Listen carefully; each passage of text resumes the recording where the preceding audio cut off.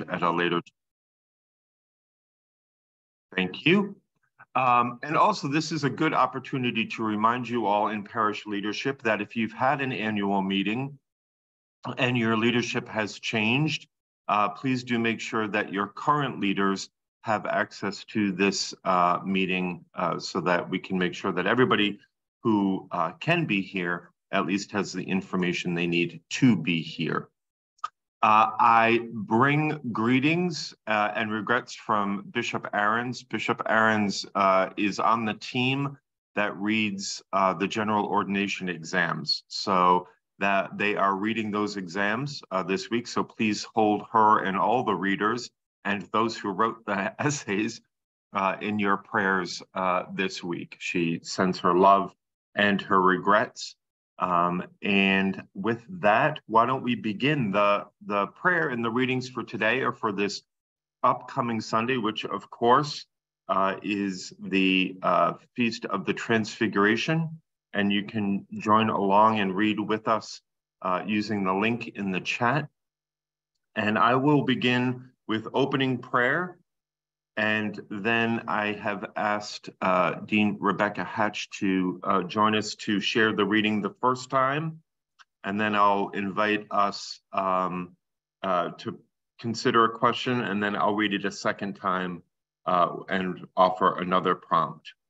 Then we'll follow with the Lord's Prayer uh, with the Reverend Lisa Honeyman reading in French and Dylan Mello uh, leading us in Spanish. So why don't we begin with some prayer. I'm also mindful, um, although it seems like we could say this every time we are together, that um, there's a lot happening in the world, uh, and it is a hard place, and our hearts are breaking um, for lots of folks.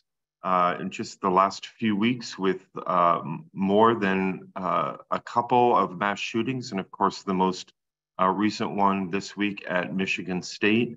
Um, the toll in Syria and Turkey is now at 40,000, uh, and they don't even know how many folks are missing and still uh, living in the in the wake of uh, Tyre Nichols and, and that video and his murder. And so there's just there's so much on our hearts. Um, and because our God is a God of compassion and a God of love, and when we join with God in God's compassion and love, it causes our hearts to break. So uh, I am grateful for this time to be with you all.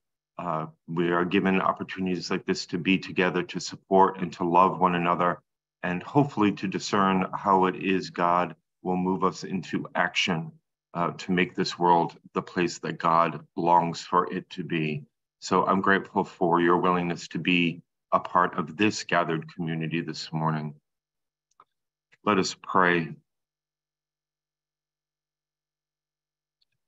O God, who before the passion of your only begotten Son revealed his glory upon the holy mountain, grant to us that we, beholding by faith the light of his countenance, may be strengthened to bear our cross and be changed into his likeness from glory to glory through Jesus Christ our Lord, who lives and reigns with you and the Holy Spirit, one God, forever and ever. Amen. And now, uh, Rebecca, if you would unmute. And as you all hear the passage being read this first time, what word or phrase is God calling you to notice? And it would be wonderful if you would share that word or phrase that God is calling you to notice uh, in the chat as uh, Dean Hatch reads it.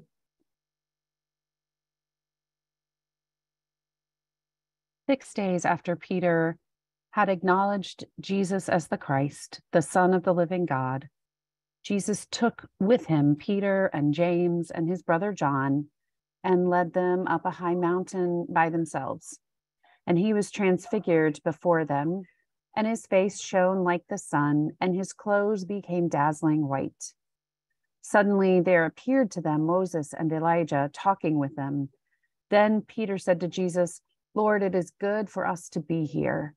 If you wish, I will make three dwellings for three dwellings here, one for you, one for Moses, and one for Elijah. While he was still speaking, suddenly a bright cloud overshadowed them, And from the cloud, a voice said, This is my son, the beloved. With him I am well pleased. Listen to him. When the disciples heard this, they fell to the ground and were overcome by fear. But Jesus came and touched them, saying, Get up and do not be afraid. And when they looked up, they saw no one except Jesus himself alone. As they were coming down the mountain, Jesus ordered them, Tell no one about the vision until after the Son of Man has been raised from the dead.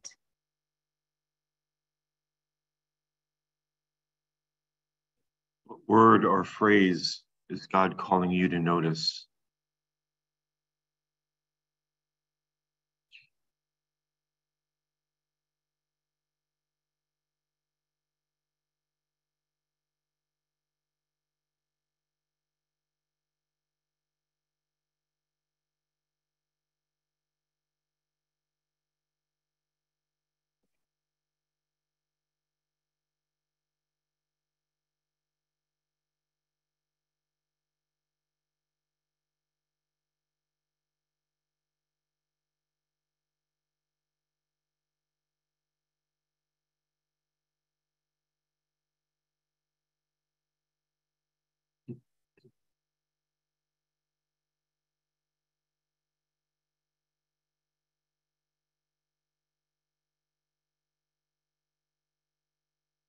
Six days after Peter had acknowledged Jesus as the Christ, the Son of the living God, Jesus took with him Peter and James and his brother John and led them up a high mountain by themselves. And he was transfigured before them, and his face shone like the sun, and his clothes became dazzling white. Suddenly there appeared to them Moses and Elijah talking with him. Then Peter said to Jesus, Lord, it is good for us to be here. If you wish, I will make three dwellings here one for you, one for Moses, and one for Elijah. While he was still speaking, suddenly a bright cloud overshadowed them. And from the cloud, a voice said, This is my son, the beloved. With him I am well pleased. Listen to him. When the disciples heard this, they fell to the ground and were overcome by fear. But Jesus came and touched them, saying, Get up and do not be afraid. And when they looked up, they saw no one except Jesus himself alone. And they were coming down the mountain. Jesus ordered them, Tell no one about the vision until after the Son of Man has been raised from the dead. What might God be calling you to try on at this time as you hear that reading? What might God be asking you to try on?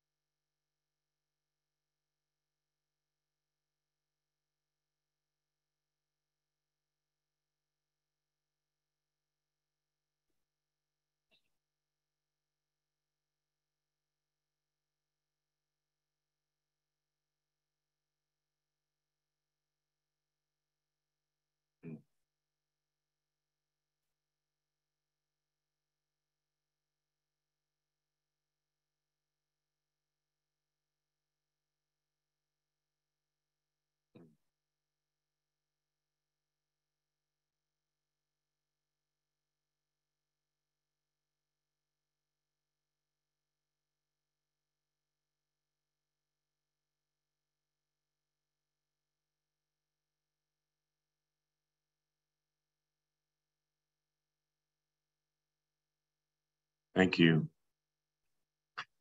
And now if uh, Lisa and Dylan, if you would unmute yourselves and we can pray together in whatever is the language of your heart, uh, the Lord's Prayer.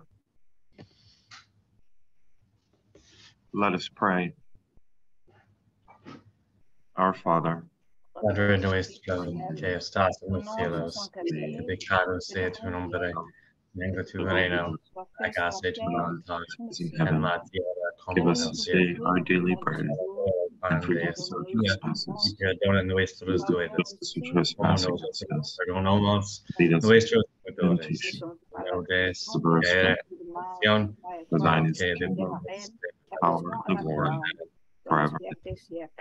Amen.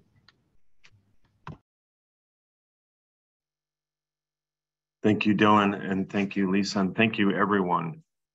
As always, such a rich conversation happening in chat. If you are joining us by phone, I encourage you to um, find the recording of this. And um, for those of you preparing sermons on Sunday, this is always a great gift um, of communal invitation. Uh, so now is the point uh, in our gathering where it is uh, whatever is on your hearts and minds. Um, if you have announcements to make, we'll ask you to hold off on that until later in our call. This is really uh, our opportunity to ask questions of clarification or just whatever's on your heart or mind or what, what are you wondering about? What would you like to hear from uh, me or other members of the community about? Whatever you bring into the space is is what we want to dedicate this next section of time with. Any thoughts or or questions on your mind?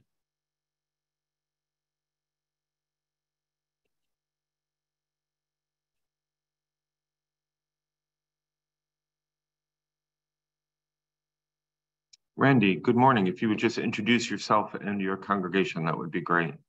Good morning, Bishop and everyone. My name is Randy DiPentima. I am the senior warden at St. Andrews, Kent. And we are um, hoping to launch a search process right now for a rector, um, waiting for materials from the um, office to get us going. Um, and I'm, I'm dealing with a lot of things in terms of just trying to keep the parish together and, and thinking um, optimistically about the future. One issue that has just come up is, is returning to the Common Cup. And I just wondered um, whether you had, anyone has a suggestion on how to figure out if this is the right time to do that. We have been using the little uh, glass um, tray of vials. Um, anyway, that's just just Mhm. one of the things So on my plate. So Yeah, yeah. And first of all, Randy, let me say thank you. This, as I hope you've heard me say before, this is uh, a challenging time to be a lay leader and a warden in a parish. And when your parish is in transition, that's a whole other layer of complexity. Um, so thank you for your leadership in this time. I do want to encourage you to maybe find and connect with other wardens who have uh, walked with their congregations through this time uh, because I find that the experts on these topics are the folks who have walked most closely in this time and can speak to it um, from the parish perspective and what it's like to be a lay leader um, with the parish in transition. So if you are a lay leader uh, who might be willing to have a conversation, if that's of interest to you, Randy, or uh, to anyone Sure. else, uh, you can put your name uh, in the chat uh, and maybe folks can connect um, and so we can build a, a network of support for one another.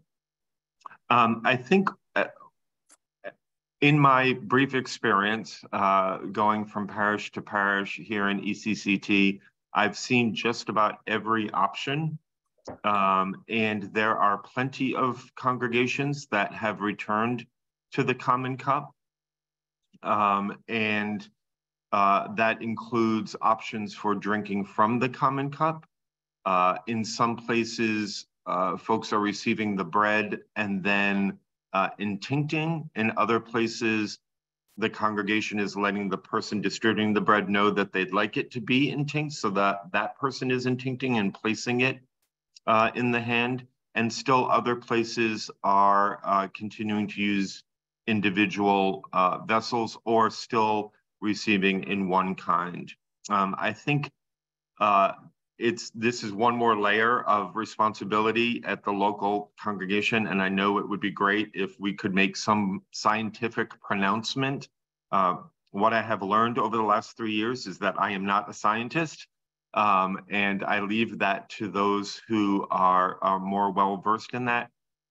And I think for for for my understanding, the best way forward is for discernment about this topic in your local community, including um, uh, local health officials. So you, when Matt uh, shares the COVID uh, numbers, you'll see that it really can vary greatly um, from community to community to community. And of course, COVID is only one of the things that some communities are uh, negotiating health-wise right now. So it is often the best way forward to figure out what makes the most sense in your local community based on science. And, and that's a hard thing to communicate in a, in a community when uh, sometimes fear or um, practice, you know, we've been doing this for three years now. This is now ancient tradition in the church. It's the way we've always done it for some folks. Um, and so those are all complicated uh, layers, but there's no uh, diocesan policy that says you cannot do any one of those um, options that I that I laid out before you. Thank you. Thank you. Uh, Rich, good morning. Welcome. Good morning, Bishop. Um, I uh, just wanted to extend to Randy and to all wardens. Uh, there is a Episcopal Warden Facebook group that uh, Carolyn Clement has been kind enough to set up. And, you know, I'm just finishing my second year and I still have plenty of questions. And I pose those uh, to the group. I get their considered answers and then I can move forward. So this might be a really good question for uh, for that group and uh, encourage all wardens to uh, to to join this group. Great, thank you, Rich. I'm so glad to hear that that exists. Uh, a couple of notions uh, in the chat. One is to make sure uh, about an ECCT guide. Um, the Commons Companion is an excellent resource, and if you find it on the website, every hyperlink actually takes you directly where um, you want to be. And Margie, I appreciate your uh, helpful comment. Just a reminder that in the Episcopal Church, we believe that receiving in one kind is receiving in all kinds. It's sufficient. So uh, folks can continue to have the option to not receive the cup um, and to come forward for a blessing as well. So thank you for that. St. Michael's Parish, the entire congregation is with us this morning. Ah, well, that must be me, Ian Montgomery, uh, Litchfield. Pardon me, I, I, don't know what my iPad does. Uh, mysterious things, they're wonders to perform. Um, I wanted to offer our recently passed senior warden, Denise Buckwell, would be happy. I know she very successfully negotiated the period after Bevan Stanley left St. Michael's through the time uh, that I arrived through to our annual meeting. And I think she'd be happy to share her experience and best practices with anyone in that situation. I gave her email to Randy through DM. Um, and I would also share the practice that was there when I arrived. I had been in Old Greenwich and we'd been using one kind and we didn't feel a need to move forward from that. Or, and we had some real caution amongst a number of members. Um, and so we didn't. When I arrived in Litchfield, it was sort of a, a, a receiver's choice and I embraced that, which is simply that the chalice bearer has has the common cup. You can let it pass, in intinct, or drink. It's your choice based on your comfort level. Great, thank you. Receiver's choice, not to be confused with receptionism, which is correct, sir. Another morning. Good, thank you. Oh, and uh, helpful, more helpful comments, and also there is a great guide that uh, Rachel has put in the chat, Jennifer Bassett of St. John's North Haven, which would basically goes through everything a parish has to have on its radar in the course of a program year. And it gives um, green and yellow and red, depending on how close you are to that being due um, in the year. So it's a wonderful uh, planning guide. And uh, I know Bishop Laura and I both bring it with us on visitations. Uh, but if you want a copy of it, Rachel has graciously agreed to send it to you if you email her using the email address in the chat. Thank you, Rachel, for that. Thank you. Other questions or comments for our gathered time this morning?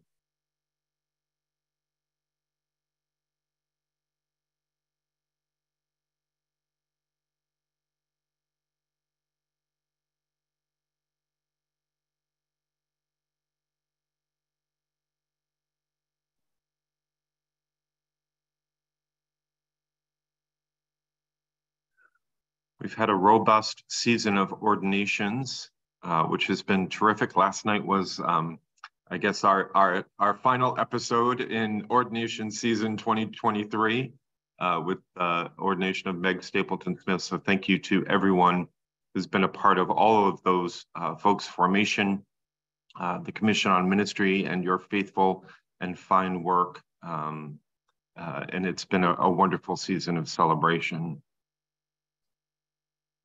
Olive, good morning. Welcome. I think you're still on mute.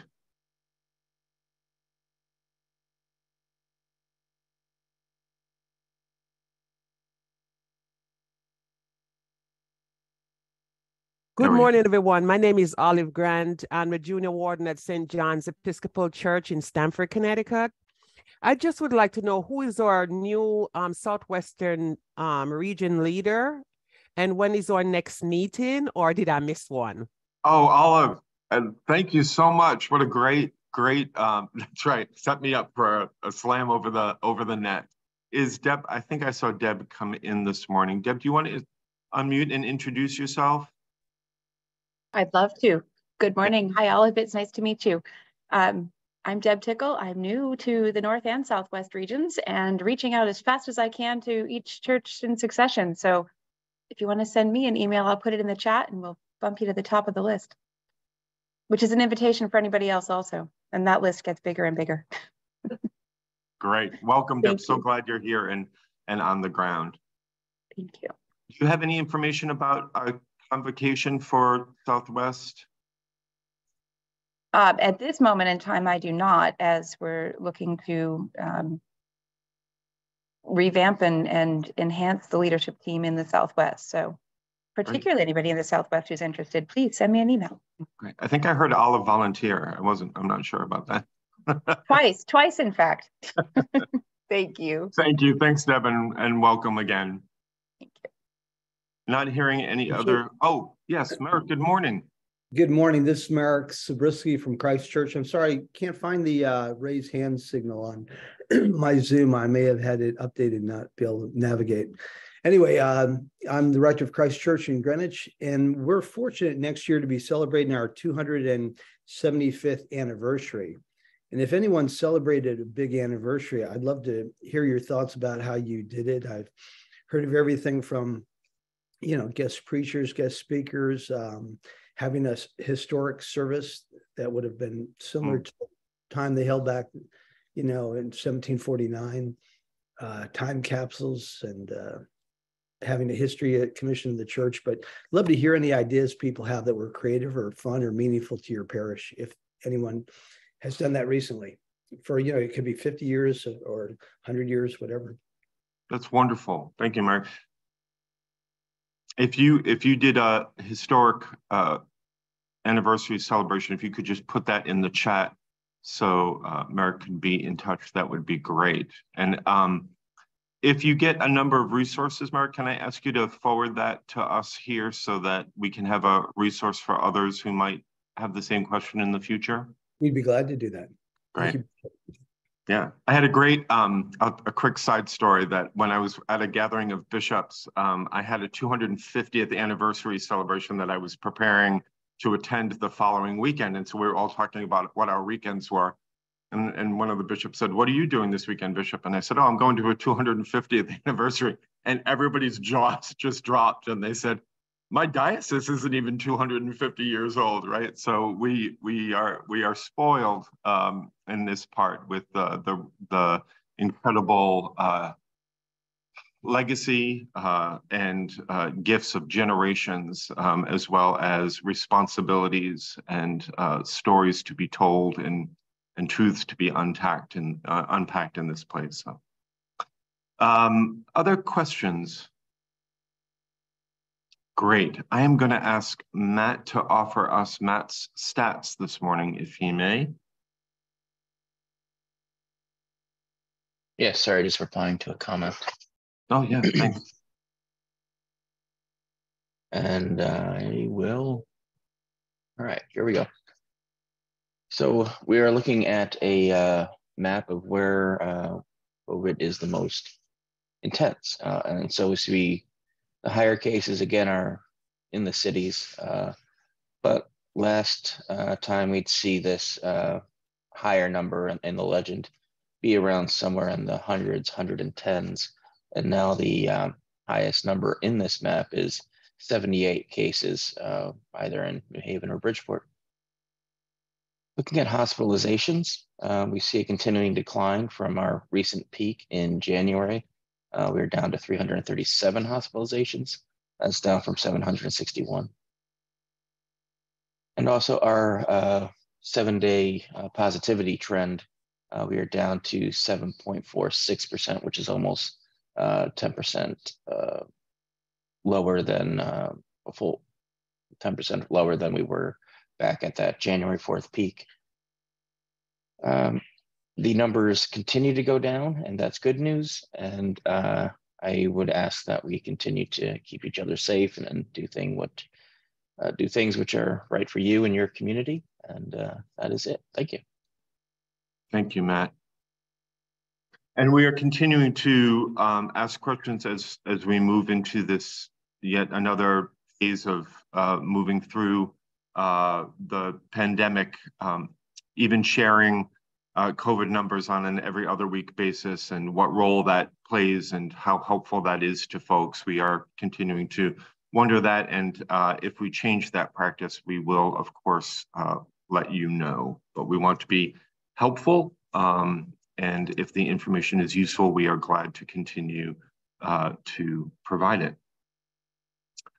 Um, announcements for the good of the whole. I have a couple I'd like to share with you. One is I think it's always um, exciting uh, to hear how folks from our local context are serving the larger church. And those of you who are on the call at the beginning heard me say that Bishop Ahrens, uh, in part of her ministry, she serves uh, as a reader for the general ordination exams, which is why she's not with us this morning. This is the week where those um, exams are read, and she is our participant and a reader in that. So we hold her and all of those uh, folks in our prayers, and we thank Bishop Ahrens for that uh, ministry she offers to the larger church.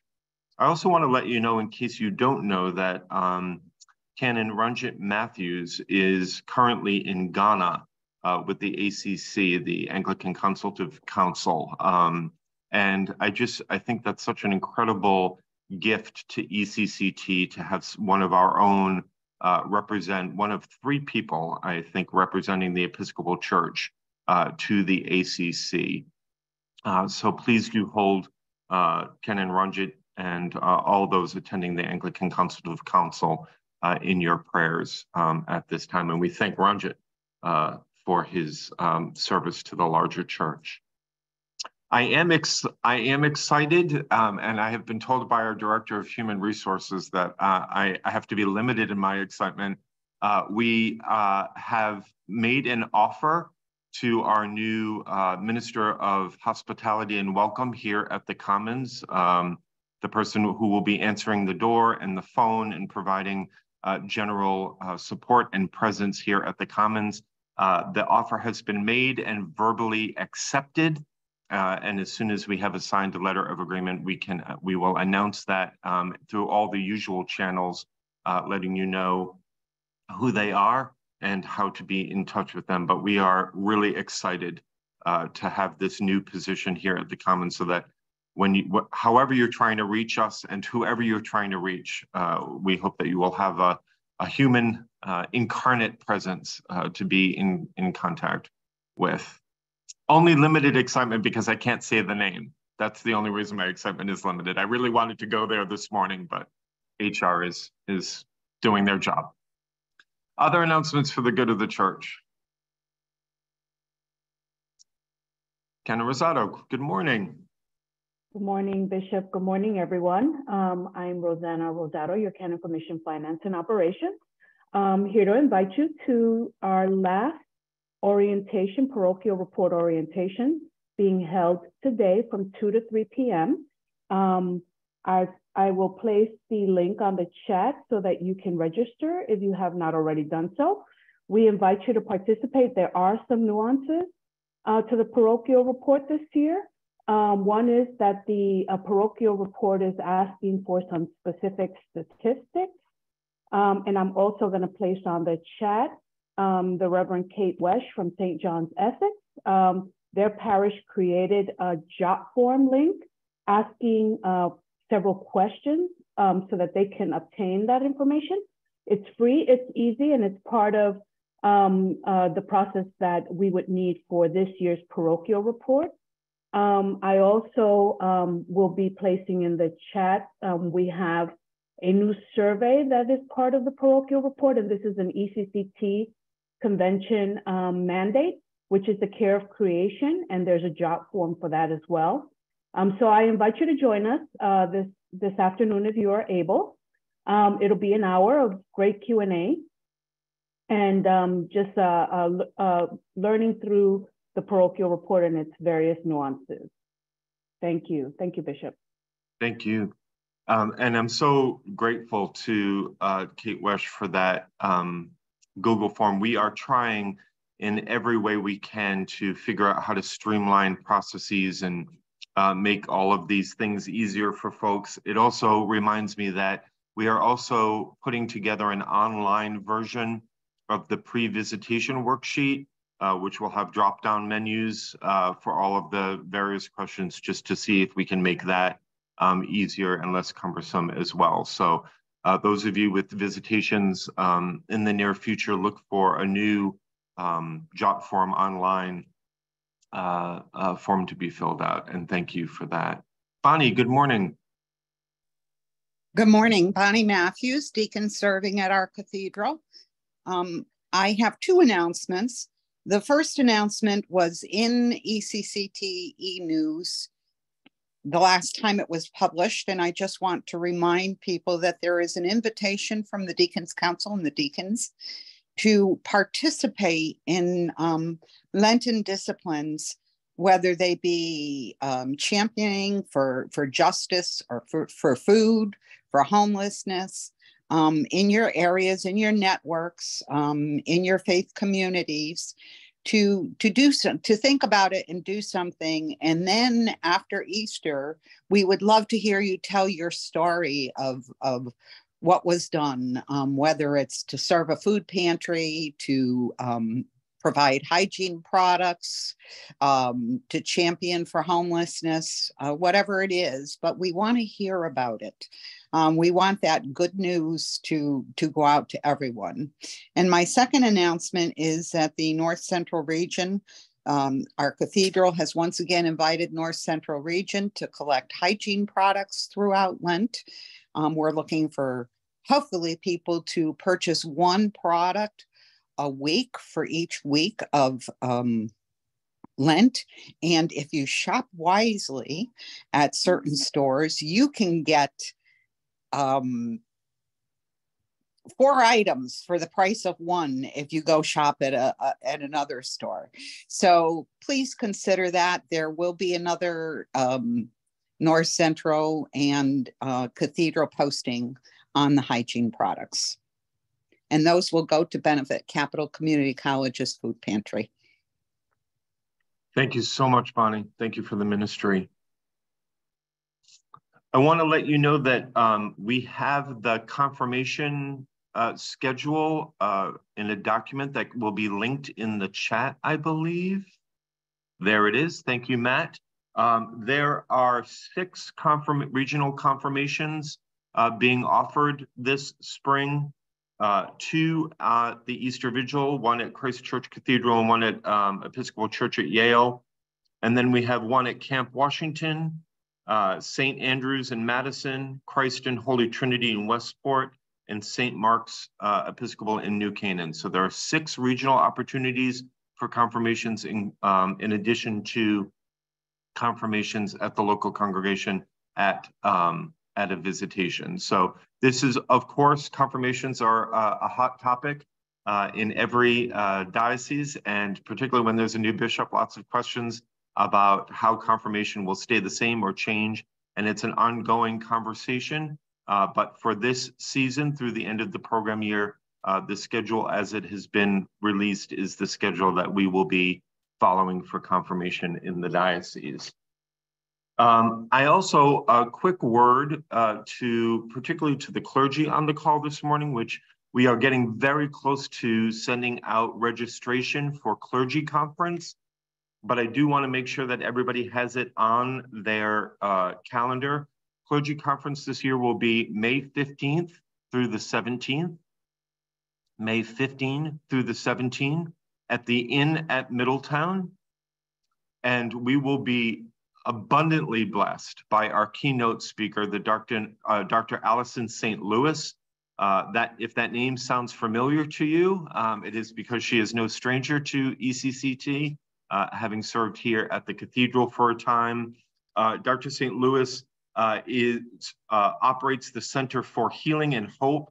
Uh, she's a licensed clinical psychologist, spiritual director, affiliated faculty member at Virginia Theological Seminary, on the staff of Preaching Foundation, and she's really excited. She's put together uh, a great uh, proposal for an offering around uh, wellness and healing and hope um, and how we um, engage in our ministry uh, in, in new and refreshing ways. Um, the clergy conference planning team is hard at work offering uh, a, a, wide a range of activities for our three days together. Uh, so please do make sure you have that on your uh, calendar. Uh, we have a block of rooms uh, that you can go ahead uh, and uh, reserve. They are $149 a night for those of you who are going to stay. We will also be, and I think this is new, we'll be offering day rates. So if you want to commute, um, or if you have another job, or if you can't commit to the full three days, you'll be able to choose uh, a commuter rate for each uh, of the three days or all three days if you want. So keep a, an eye out for that. That will be coming out um, shortly, I hope. Other announcements for the good of the church.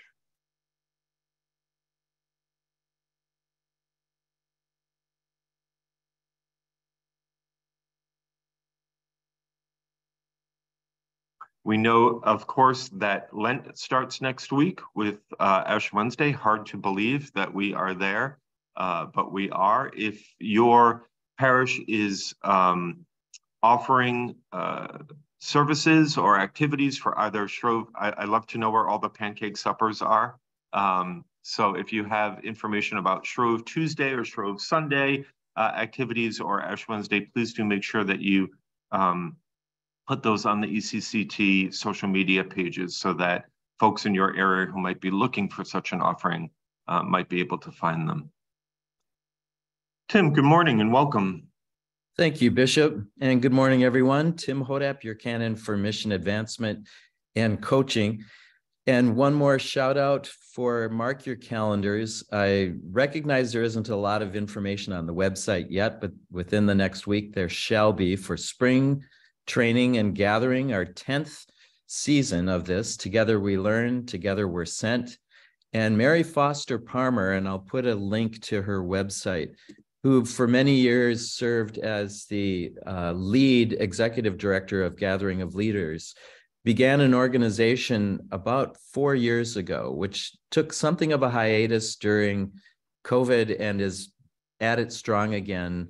Invite, welcome to, and connect is a group of folks who work with parishes across the Episcopal Church to equip and empower individuals, congregations for evangelism, hospitality, and connections. And it's all focused on Matthew's go out and make disciples of all nations. And it's a, a wonderful process. And she's coming to be our plenary on April 29th. Uh, and we will find the venue. We're working our tails off to make that happen, as well as about 15 to 20 presentations that morning. And again, I'll put that detail into the um, chat in a moment. So April 29th will be our in-person with Mary Foster Parmer as our plenary. And the two weeks ahead of that, April 17th through April 27th, we'll do an online presentation of a variety of different uh, offerings from workshop presenters. 90 minutes, a couple of times for each workshop, morning, afternoon, evening. And as we've done before, it's everything from Vestry 101, 102, 103, and uh, finance in a parish to faith formation to conflict resolution to how do I explore uh, the possibility of spiritual life in my life. Uh, lots and lots of presentations from our subject matter experts from across ECCT. So April 17th through April 29th, spring training and gathering our 10th anniversary and watch for more information very soon. Thank you. Thank you, Tim. Both of these events, the Spring Training and Learning and Clergy Conference, we hope will be uh, real times of, of gathering and supporting and nourishing one another um, after many of us are feeling uh, strained and distanced and isolated. Um, so we are looking forward to these times of uh, renewal and and support. So we hope everyone will put April 29th uh, on your calendar and the two weeks before that. And for clergy, uh, I do hope to see you at clergy conference. Any other announcements for the good of the church?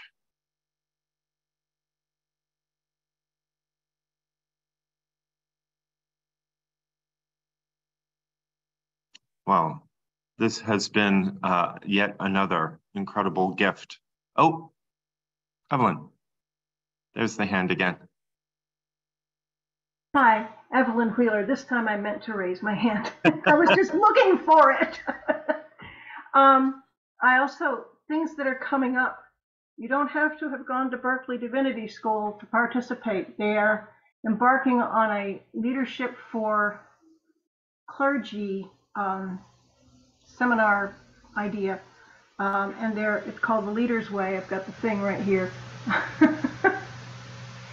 um, in June, and it's a six-day residential program. They have room for 12 people. They have scholarships for as many as eight.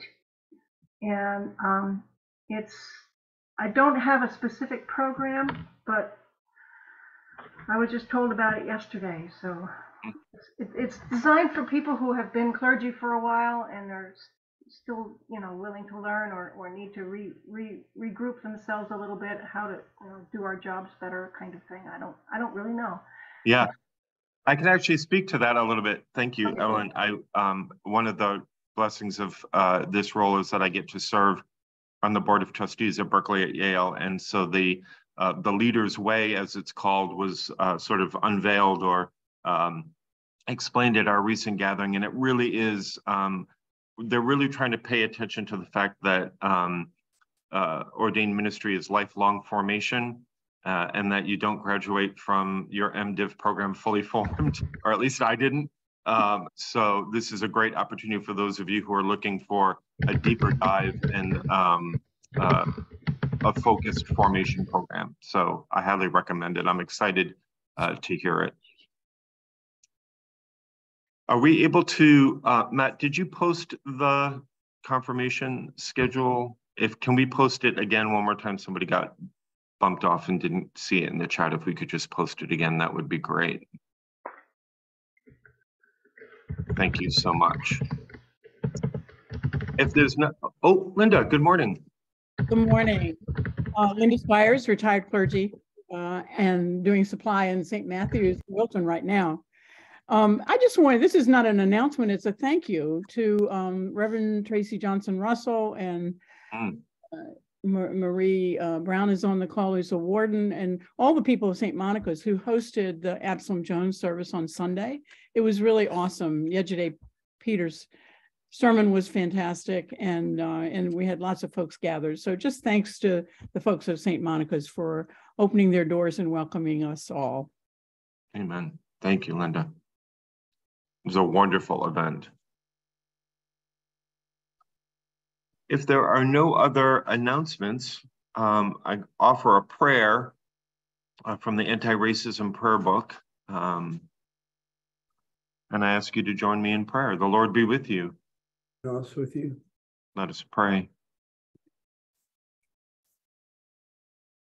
May this country become a light unto the nations of hope and goodness and peace and freedom.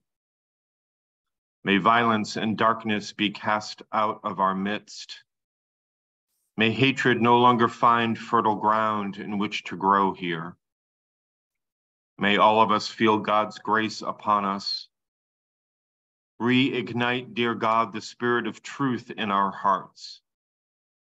May our nation be given a new light, the sacred fire that was shown so bright from shore to shore. May we be repaired. May we be forgiven. May we be renewed. Amen. And the blessing of God Almighty, the Father, the Son, and the Holy Spirit be upon you, remain with you this day and forevermore. Amen.